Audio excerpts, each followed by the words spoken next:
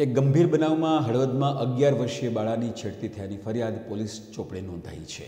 હળવદમાં અગિયાર વર્ષની બાળાનો પરિવાર બહાર ગયો હતો. તે દરમિયાન ધ્રાંગધ્રાના શખ્સ સલીમ ઘાંચીની દાનત બગડી હતી અને આ લંપટે બાળાની છેડતી કરી હતી. બાદમાં લંપટને લોકોએ પોલીસને હવાલે કર્યો હતો અને આ આરોપી શખ્સ વિરુદ્ધ પોક્સો હેઠળ ગુનો નોંધી અને દાખલ કરવામાં આવ્યો હતો.